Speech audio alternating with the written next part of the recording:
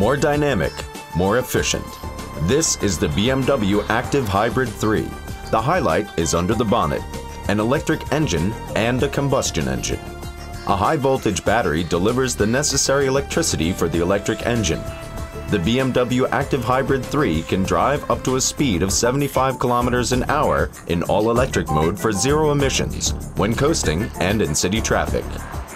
Upon deceleration, the electric motor performs in the role of a generator. It feeds the energy into the high voltage battery.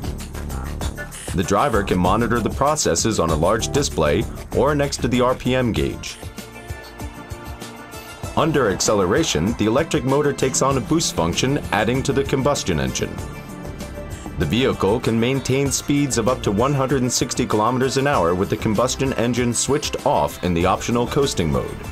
Zero emission driving is therefore also possible at faster speeds. With the hybrid start-stop function, fuel consumption is reduced even further. The dynamic lines of the vehicle present the BMW Active Hybrid 3 as part of the 3 Series family. Special letterings all over the vehicle underline its outstanding position. Features like light alloy wheels or chrome elements in the interior add to the vehicle's sporty and exclusive look.